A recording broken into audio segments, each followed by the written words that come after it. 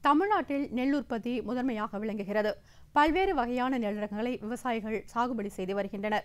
அத்தகைய நெற்பயிருக்கு சரியான அளவில் தழை மணி சாம்பல் மற்றும் இதர சத்துக்களை அளிப்பதன் மூலம் தரமான ஊட்டச்சத்து மிகுந்த நெற்பயிர்களை சாகுபடி செய்வதோடு நல்ல லாபம் பெற முடியும். அந்த வகையில் நெல் சாகுபடியில் நீர் சேமிப்பு மற்றும் உற்பத்தி பெருக்குதல் குறித்து கோயம்புத்தூர் தமிழ்நாடு வேளாண்மை பல்கலைக்கழக உழவியல் துறை பேராசிரியர் முனைவர் சுப்புலட்சுமி லோகநாதன் அவர்கள் தரும் தகவல்கள்.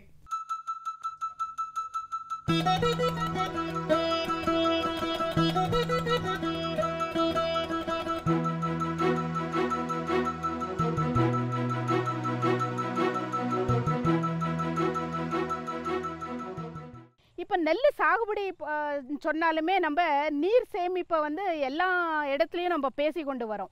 ஏன்னா நெல் சாகுபடின்னு சொன்னாலே வந்து நமக்கு வந்து அதோடைய நீர் அம்சம் அதிகமாக தேவைப்பட படக்கூடிய ஒரு பயிர் வகை. எல்லா பயிர் வகைகளை விட நெல்லுக்கு தான் வந்து அதிக நீர்த்தன்மை தேவைப்படுகிறது. அதனால தான் நம்ம மற்ற பயிர் வகைகளெல்லாம் வந்து சகதியில் வளர்க்காம நெல்லை மட்டும் வந்து சகதியில் நம்ம வளர்க்குறோம். ஆங்கிலத்தில் வந்து அதை வெட்லேண்ட் கல்டிவேஷன்னு சொல்ல வராங்க. நம்ம சாப்பிடக்கூடிய மிக்க அதர தானியங்களை ஒப்பிட்டு பார்த்தோம்னா நெல்லும் கோதுமை வந்து ரொம்ப முக்கியமாக வாய்ந்தது. இப்போ நம்ம வட மாநிலத்துலலாம் வந்து கோதுமை அதிகமாக சாகுபடியும் பண்ணுறாங்க அப்புறம் ஜனத்தொகைக்கும் அதிகமாக தேவைப்படுது. அதே வந்து நம்ம தென் மாநிலத்தில் பார்த்திங்கன்னா நம்ம நெல் தான் வந்து அதிகமாக சாகுபடி பண்ணுறோம் ஏன் நெல் அதிகமாக சாகுபடி பண்ணுறோன்னு சொன்னால் நம்ம உணவு முறை பார்த்திங்கன்னா நமக்கு அரிசி இல்லாமல் இருக்க முடியாது. நமக்கு மூணு வேளையும் அரிசி தேவைப்படுது. ஸோ தமிழ்நாட்டுக்குள்ளே எந்த பகுதிக்கு நம்ம போனோம்னாலும் காலையில் உணவு மதிய உணவு சாயங்கால உணவு எல்லாம் வந்து நெல் அமைப்பு தான். ஆனால் இந்த நெல் சாகுபடி பண்ணுறப்ப விவசாயிங்க வர்றப்ப விவசாயிக்கு வந்து அவ்வளோ வந்து லாபகரமாக இல்லை. விவசாயி வந்து எப்போவுமே நஷ்டம் அடையிறாங்க நெல்லுங்கிறாங்க. அதுவும் உண்மைதான். ஏன்னா சராசரி ஒரு ஹெக்டேர் நெல் சாகுபடி பண்ணணும்னா இப்போ காலகட்டத்தில் வந்து அறுபதாயிரத்துலேருந்து எழுபதாயிரம் ரூபாய் வரைக்கும் செலவு ஆகுது. ஆனால் அது லாபம் பார்த்தீங்கன்னா ஒரு லட்சத்துலேருந்து ஒரு லட்சம் இருபதாயிரம் வரைக்கும் தான் லாபம் வருது. அப்போ ஒரு விவசாயி வந்து மூணு மாதத்துலேருந்து அஞ்சு மாதம் வரைக்கும் ஒரு நெல் சாகுபடி பண்ணானா அந்த அஞ்சு மாதத்துக்கு அவனுக்கு வரக்கூடிய வந்து நிகர லாபம் பார்த்தீங்கன்னா இருபதாயிரமோ இருபத்தஞ்சாயிரமோ தான் கிடைக்குது. அவன் இதுக்கு வந்து போடக்கூடிய உழைப்பு வந்து அதிகமாக இருக்குது. ஆனால் இதே வந்து அவன் லாபத்தை வந்து ரெண்டு மடங்கோ இல்லை மூணு மடங்கோ வந்து நம்மளால் பெருக முடியும். அது எப்படி முடியும்னு பார்த்தீங்கன்னா நம்ம இந்த மருத்துவ குண நெல் சாகுபடி பண்ணுறதுனால தான் இப்போ ஜீரக சம்பா வந்து நம்ம மாநிலத்தில் வந்து அதிகமாக பேர் எடுத்துக்கூடிய ஒரு ரகம். அந்த ஜீரக சம்பா பார்த்தீங்கன்னா இந்த நாள் வரையில் வந்து ஒரு மானாவாரியாக தான் நம்ம வந்து அதை சாகுபடி பண்ணிகிட்ருக்கோம் இருக்கோம் ஏன் அந்த மானாவாரியை சாகுபடி பண்ணுறப்ப அதோடைய உற்பத்தி திறன் வந்து ரொம்ப கம்மியாக இருக்கும்.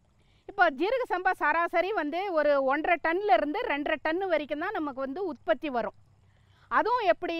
நம்ம அந்த நேரத்தில் சாகுபடி பண்ணி நல்ல ஊட்டச்சத்து கொடுத்து நல்ல நீர் அம்சம் கொடுத்து உற்பத்தி பண்ணோம்னா ரெண்டரை டன்னு வரும். ஆனால் அந்த ஜீரக சம்பா பார்த்தீங்கன்னா அந்த தூர் அடிக்கும் தன்மை வந்து ரொம்ப குறைஞ்சிருக்கும். ஒரு ஏழுலேருந்து எட்டு தூறு தான் வரும். நம்ம உற்பத்தியை பெருக்கணும்னு சொன்னோம்னா இந்த ஏழுலேருந்து எட்டு வரக்கூடிய தூர் வந்து பதினாறோ பதினேழோ தூர்கள் வந்து நம்ம பெருக்கணும்னா அப்படியே வந்து நமக்கு இரு மடங்காக வந்து நம்ம உற்பத்தி பெருக்கிடலாம். ஸோ இந்த மருத்துவ குண நெல்லுங்கன்னு பார்த்தீங்கன்னா இப்போ இந்த ரக நெல் இருக்கு இல்லைங்களா? இதை வந்து கவுனின்னு சொல்லுவாங்க.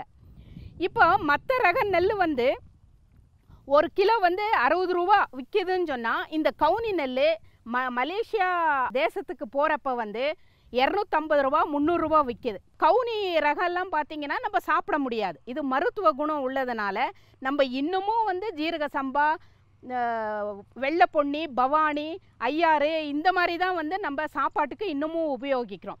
ஸோ நம்ம சாப்பாட்டுக்கு என்ன தேவைப்படுதோ அந்த ரகங்களை வந்து நமக்கு உற்பத்தி பண்ணி நம்ம லாபம் பார்க்கணும்னு சொன்னால் இந்த மாதிரி பாரம்பரிய வகை நெல்லுகளும் மறுபடியும் இந்த மருத்துவ குண நெல்லுகளை வந்து உற்பத்தி பண்ணி சராசரியாக நீங்கள் ஏகாஏகியாக சாகுபடி பண்ண வேணாம்.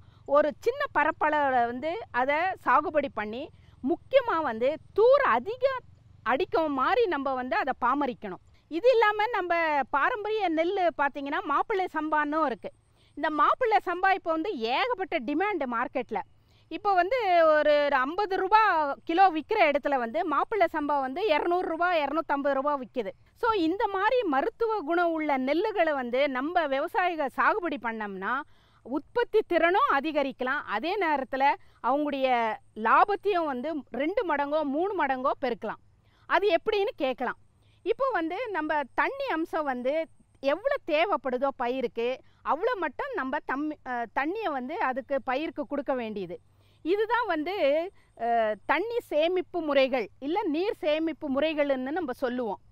இப்போ சராசரியாக பார்த்தீங்கன்னா நம்ம நெல் சாகுபடிக்கு நம்ம தமிழ்நாட்டில் வந்து ஆயிரத்துலேருந்து ஆயிரத்தி இரநூறு எம்எம் நீர் வந்து தேவைப்படுது. ஒரு பயிர் வந்து நம்ம நடவு போட்டு நாத்தங்கால் விட்டு நடவு போட்டு அதை வள வளர்த்து அறுவடை பண்ணி நம்ம கணத்துக்கு எடுத்து போகிற வரைக்கும் பார்த்தீங்கன்னா ஆயிரத்துலேருந்து ஆயிரத்தி இரநூறு எம்எம் தண்ணி தேவைப்படுது. இந்த தண்ணியை வந்து எப்படியெல்லாம் நம்ம மிச்சப்படுத்தலாம்? பயிருக்கு எப்போ தேவைப்படுதோ அப்போ மட்டும் தண்ணியை நம்ம உட் எப்படி கொடுக்கலான்னு சொன்னால் அதுக்கு வந்து சில நெறிமுறைகள் இருக்குது அதை வந்து நம்ம கடைப்பிடிச்சோம்னா உற்பத்தியும் பெருக்கலாம் தண்ணி சேமிப்பும் நம்ம குறைச்சிக்கலாம். இது எப்படின்னு பார்த்தீங்கன்னா இப்போ சராசரியாக நம்ம இந்த கவுனி ஆகட்டும் இல்லை சீரக சம்பா ஆகட்டும் சாகுபடி பண்ணுறப்ப வந்து நம்ம குத்து நாற்று வச்சு சாகுபடி பண்ணிடுவாங்க. இது இல்லாமல் இப்போ எங்கே பார்த்தாலும் வந்து செம்மை நெல் சாகுபடி திருத்திய நெல் சாகுபடி எஸ்ஆர்ஐ டெக்னாலஜின்னு சொல்கிறோம் இல்லையா? அந்த அந்த தொழில்நுட்ப முறையில் வந்து நம்ம இதை எடுத்தோம்னா நூறு கிலோ தேவைப்படைய இடத்துல வந்து நம்ம பதினைந்து கிலோ வச்சு நம்ம சாகுபடி செய்யலாம். ஒரு ஏக்கருக்கு பார்த்தீங்கன்னா அஞ்சு கிலோ வந்து போதுமானது. இந்த அஞ்சு கிலோ வச்சு நம்ம சதுர நடவு போட்டு இந்த செம்மை நெல் சாகுபடி பண்ணுறப்ப சராசரி நடுவில் வந்து ஏழு எட்டு தூர் வரக்கூடிய இடத்துல வந்து இந்த செம்மை நெல் சாகுபடியில் வந்து பதினேழு பதினெட்டு தூர் வரும். செம்மை நெல் சாகுபடியில் வந்து நீர் ஓட்டம் வந்து நம்ம சேமிக்கிறோம். அதிகமாக நீர் கொடுக்காம பயிருக்கு மேலே ஒரு அங்குல அளவுக்கு வந்து நீரை வச்சா போதுமானது. இந்த அங்குல நீரும் பார்த்தீங்கன்னா தூர் அடிக்கிற தன்மத்தில் வந்து வடிகட்டிட்டு நீர்மறைய நீர் பாய்ச்சுதல் முறையில் வந்து நம்ம நீர் கட்டணும். அது என்ன நீர்மறைய நீர் கா பாய்ச்சுதல் முறைன்னு சொன்னால் நம்ம நீர் கட்டுறப்ப தண்ணி தேங்கி இருக்கிறப்ப அதுக்கு வந்து காற்றோட்ட அம்சம் வந்து கம்மியாக இருக்கும். இதே வந்து நம்ம அதை அப்படியே வந்து நீர் மறைய வரைக்கும் விட்டோம்னா அந்த மண்ணில் வந்து காற்றோட்ட அம்சம் வந்து அதிகரித்து தூரடிக்க தன்மை வந்து அதிகரிக்கும். ஸோ இதனால தான் பார்த்தீங்கன்னா அந்த காலத்தில் வந்து நெல் சாகுபடி பண்ணுறப்ப நீங்கள் வயலில் எதுவும் செய்யலைனாலும் பரவாயில்ல மெதிச்சிட்டாவது போங்கன்னு சொல்லுவாங்க.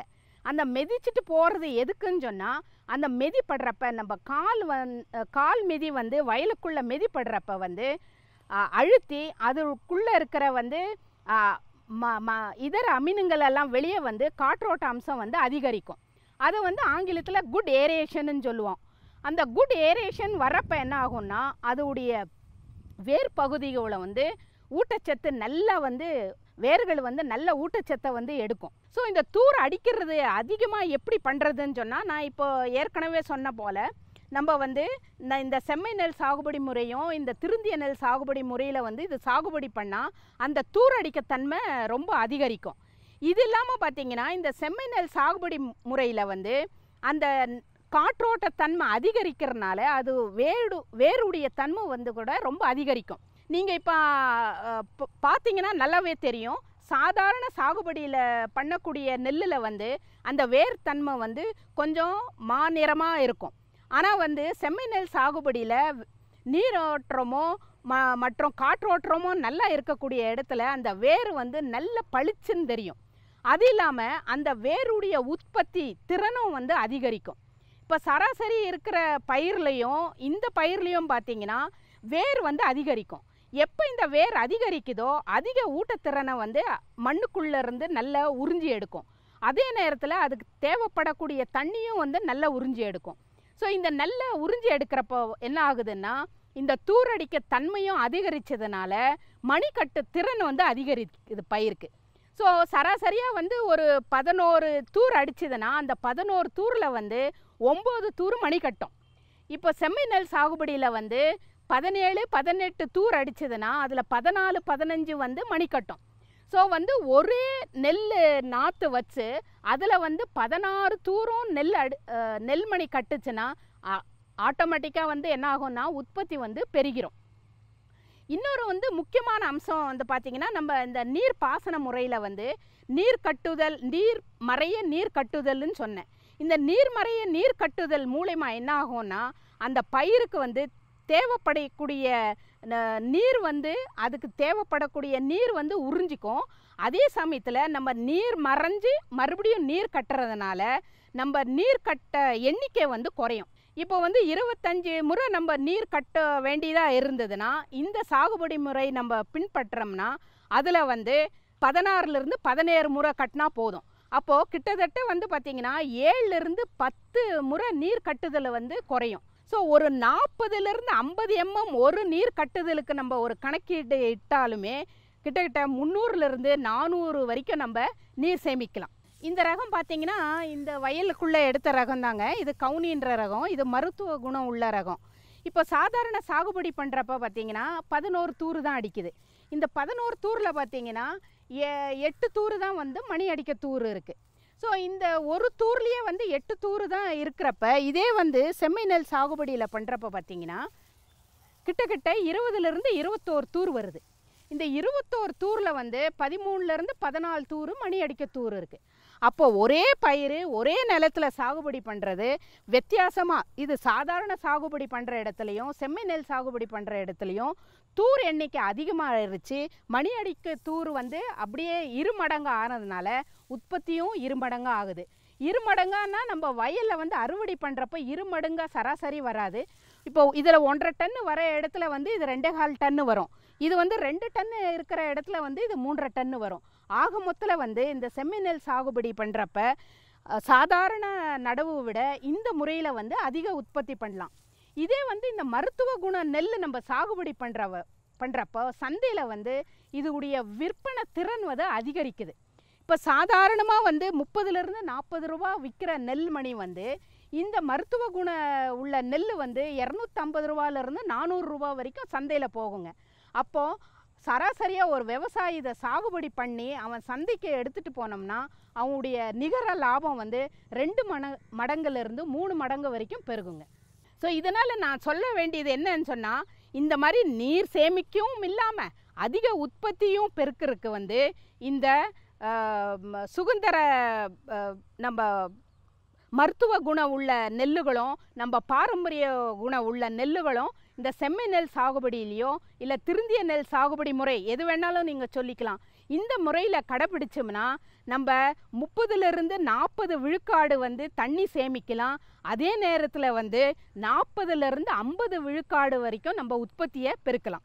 மேலும் விவரங்கள் பெற முனைவர் சுப்புலட்சுமி லோகநாதன் அவர்களை பூஜ்ஜியம் ஒன்பது நான்கு நான்கு மூன்று எட்டு ஒன்பது ஒன்பது ஒன்று இரண்டு நான்கு என்ற கைபேசி எண்ணில் தொடர்பு கொள்ளலாம்.